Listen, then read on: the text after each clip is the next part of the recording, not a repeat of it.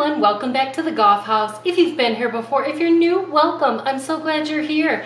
I'm Jeni and today I've got an easy crock pot recipe for you. I have a full day of doing videos for you guys and I am going to make something quick and easy in the crock pot.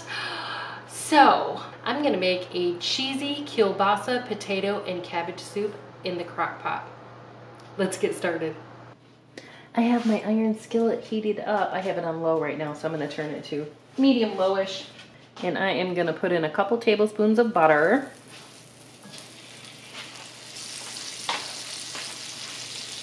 Um, one medium onion. This is just a yellow onion, brown onion, whatever you like to call them.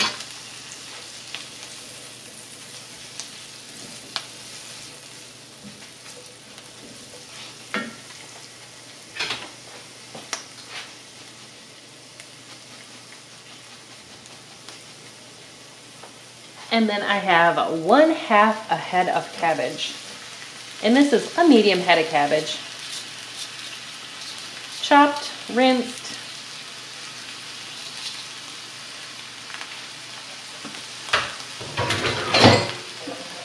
I just want to give these a little bit of head start before I put them in the crock pot. I'm going to give these a little bit of salt. And I'm going to use my pepper grinder to put uh, pepper in, but I will blink it out for you since the sound annoys people and I don't want it in a container already, already cracked. Um, I prefer to just do it like this. I'm just gonna cook those until they soften up. Okay, while that's going, I have one sausage. This is a uh, kielbasa.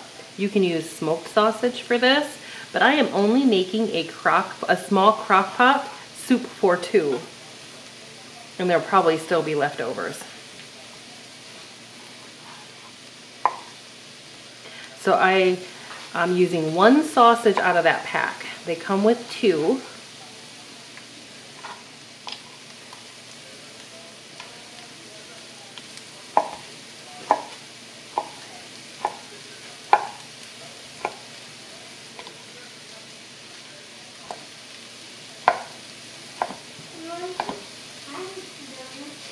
Okay, so I'm just gonna chunk them up.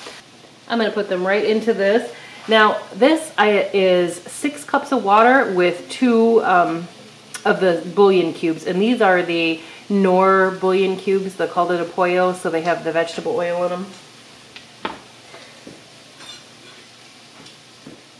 I'm gonna put those right in.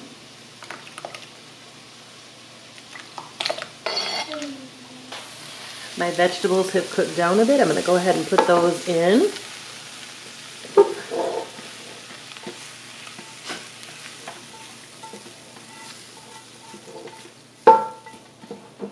Okay, I just want to say iron skillets are really heavy when you're stretching across the counter. I'm going to throw in some parsley, about a teaspoon. I'm going to throw in a teaspoon of garlic powder. I'm going to throw in a teaspoon of onion powder, half a teaspoon of paprika.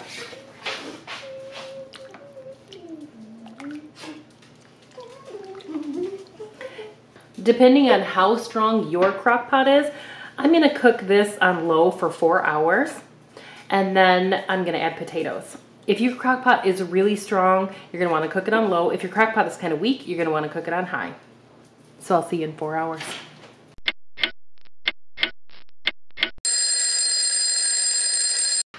I am now adding my diced potato into this.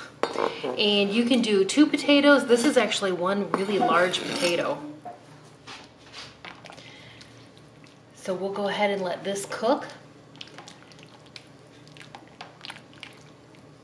Let this go another um, three hours this way, and then we're gonna go ahead and thicken it up and put in some cream and some cheese.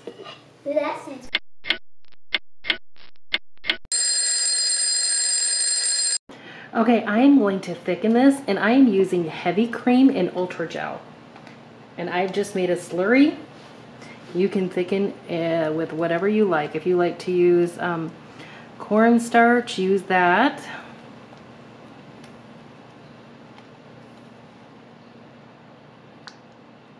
I like ultra gel because it kind of blends in a little bit better than cornstarch. And you can put it in anything hot or cold. You can even do it directly. You can also thicken this with sour cream and cornstarch. You can mix those two together and put those in there. The amount depends on how thick do you want it. I still want mine in a soup so it's a little bit thicker. So I used a quarter cup of Ultra-Gel and um, it ended up being like a half a cup of um, heavy cream. And then I have a half a cup of Velveeta.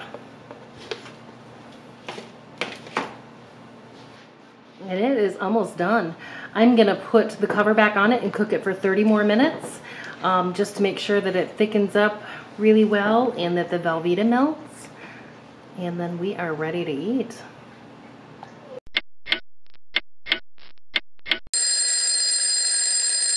Here is my soup. Oh my gosh, it's so good. So I put it in the bowl, cooled it off, and I was like, oh, I'll turn on the camera. Totally forgot about you after I started eating the soup. So I didn't add any extra flavoring. Um, you know, the cabbage and the kielbasa really flavor the broth. So it is so good. I added nothing extra for flavoring, just an FYI. And I am having this with some homemade crackers. If you're interested in the homemade crackers, I'll link the video in the description box below if you haven't already watched it. It was my November. Anywho, gotta try this quick, easy soup in your crock pot. All right, that's all there is to it. A super easy recipe and so good. Oh my gosh. I really wanted kielbasa and I just really was in the mood for a good, simple soup. And it is so good. I almost forgot to film the end for you.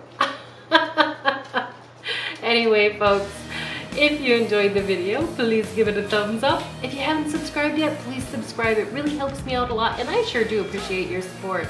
You can find me on Instagram at JeniGough18. I'm also on Facebook, and you can visit my blog for all of my recipes, including this one at jenigough.com. Thanks for watching. I'll see you in the next video.